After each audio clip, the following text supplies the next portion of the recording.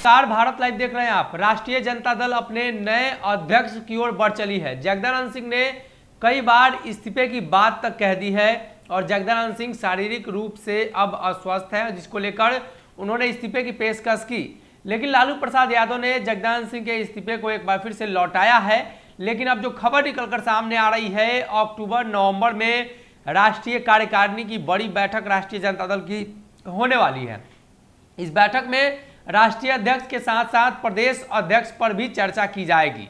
राष्ट्रीय अध्यक्ष की अगर बात करें तो तेजस्वी का नाम सबसे आगे है और संभवतः तेजस्वी यादव के नाम पर मुहर लग ही गई है। इसलिए कि लालू प्रसाद यादव ने कई आधिकारिक फैसले के लिए तेजस्वी को आगे बढ़ाया है और तेजस्वी के लिए हामी भरी है। वहीं अगर बात करें प्रदेश अध्यक्ष को लेकर लगातार चर्चा है कि प्रदेश अध्यक्ष कौन होगा, जगदानंद सिंह के बाद। जगदानंद सिंह आने वाले दो तीन महीनों में राजद के प्रदेश अध्यक्ष नहीं रहेंगे और वो राष्ट्रीय जनता दल के प्रदेश अध्यक्ष से हट जाएँगे।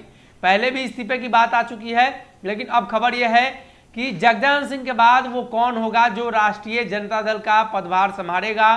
कहीं ना कहीं एक तरफ़ तेज प्रताप और जगदानंद के विवाद को देखे तो अब ये विवाद खत्म हो जाएगा, इसलिए कि जगदानंद सिंह और तेज प्रताप यादव की कार्यशैली एक दूसरे से मिलती नहीं है। खबर यह है कि जगदानंद सिंह के बाद तीन चार ऐसे नेता हैं जो लाइन में हैं और राष्ट्रीय अध्यक्ष के साथ साथ प्रदेश अध्यक्ष की कुर्सी में फेरबदल के साथ उनकी लॉटरी लग सकती है। तेजस्वी की बात कर ले तो राष्ट्रीय अध्यक्ष के तौर पर तेजस्वी के अलावा कोई अभी तक नाम सामने नहीं आया है।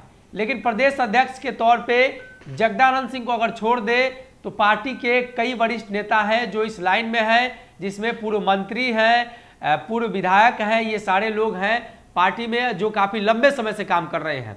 सबसे पहले अगर बात करें तो आलोक मेहता के बारे में चर्चा है। जो बिहार सरकार में मंत्री रहे हैं, इसके पहले जब राष्ट्रीय जनता दल की सरकार बनी थी तो वो मंत्री बने थे और कहीं ना कहीं मोहद्दी नगर से जब वो जीत कर आए तो ये स्पष्ट हो गया था उस दरमियान कि राष्ट्रीय जनता दल इन्हें बड़ी ज़िम्मेदारी दे सकती है। लेकिन अब सरकार रही नहीं तो प्रदेश अध्यक्ष की चर्चा में कहीं ना कहीं वो आगे चल रहे हैं। उसके बाद अगर बढ़े तो पूर्व मंत्री श्याम रजक की बात भी सामने आती है। पहला तो दलित चेहरा है और काफ़ी सक्रियता के साथ राष्ट्रीय जनता दल में रहे हैं। दूसरा पूर्व मंत्री रहे हैं, नीतीश कुमार के साथ काम करते हुए उन्होंने मंत्रालय छोड़ा। राष्ट्रीय जनता दल का दामन थामा था तो राष्ट्रीय जनता दल उन्हें अभी तक रिवार्ड नहीं कर पाई है। एमएलसी चुनाव में या राज्यसभा चुनाव में चर्चा ये थी कि श्याम रजक को आगे बढ़ाया जा सकता है, जिसके बाद उनकी नाराज़गी भी दिखी थी। जब उन्हें मंत्रालय राज्यसभा नहीं दिया गया और साथ ही श्याम रजक को बिहार विधान परिषद नहीं भेजा गया। लेकिन अब खबर यह है कि श्याम रजक की भी लॉटरी लग सकती है, उन्हें भी भेजा जा सकता है। शिवचंद्र राम सहित कई अन्य नाम हैं। हालाँकि राष्ट्रीय जनता दल किसी दलित नेता को इस बार बनाने के फिराक में है।